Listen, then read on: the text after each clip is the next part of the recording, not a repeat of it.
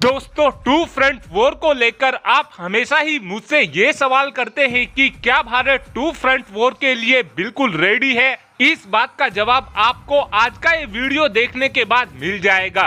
तो जैसा कि आप सभी जानते हैं कि किसी भी देश की वायुसेना उस देश की रीढ़ की हड्डी होती है और हमारी वायुसेना में फ़िलहाल फाइटर जेट की स्क्वाडन लगातार घटती जा रही है।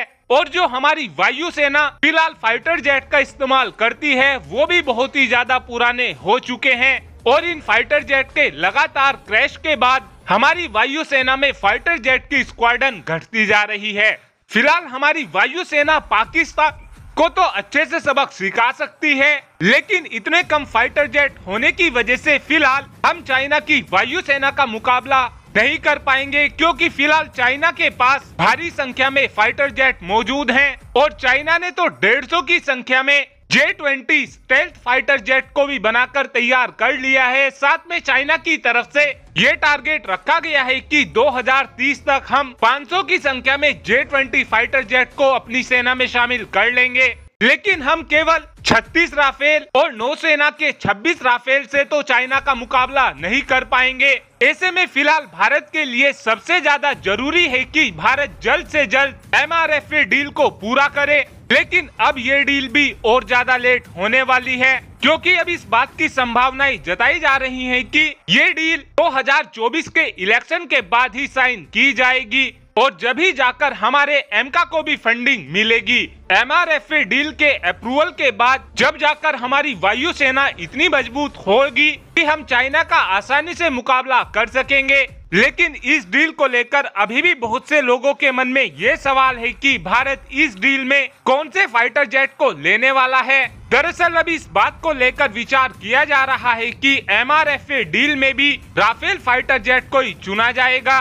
क्योंकि इस फाइटर जेट की परफॉर्मेंस से हमारी वायुसेना काफ़ी खुश है और इस फाइटर जेट को लेने का हमें ये भी फ़ायदा होगा कि इस फाइटर जेट की मेंटेनेंस कॉस्ट हमें कम पड़ेगी। वहीं पर राफेल फाइटर जेट अपनी पावर का लोहा भारतीय वायुसेना को कई बार मनवा भी चुका है। और अब इस बात की उम्मीद की जा रही है कि 2024 के इलेक्शन खत्म होने के बाद 36 राफेल और 26 राफेल के बाद एक बार फिर से 114 फाइटर जेट की एमआरएफए डील को साइन कर लिया जाएगा। और राफेल फाइटर जेट के आने से हमारी वायुसेना इतनी मज़बूत हो जाएगी कि चाइना के जे ट्वेंटी का काफ़ी आराम से मुकाबला कर लेगी। राफेल फाइटर जेट की पावर का आप इसी बात से अंदाज़ा लगा सकते हैं कि एक युद्ध अभ्यास के दौरान राफेल फाइटर जेट ने एफ़ ट्वेंटी टू रैप्टर को मिसाइल लॉक कर दिया था।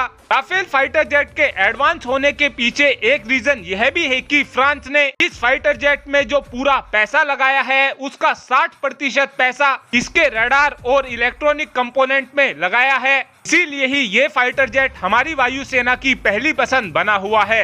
और राफेल फाइटर जेट के आने के बाद हमारी वायुसेना इतनी कैपेबल हो जाएगी कि हम टू फ्रंट वॉर के लिए पूरी तरीके से तैयार होंगे। आपको क्या लगता है कि एम आर डील में हमें एफ़ फिफ्टीन ई लेना चाहिए या फिर राफेल फाइटर जेट लेना चाहिए? इस बात का आंसर आप कमेंट बॉक्स में दे सकते हैं। Thanks for watching this video have a good day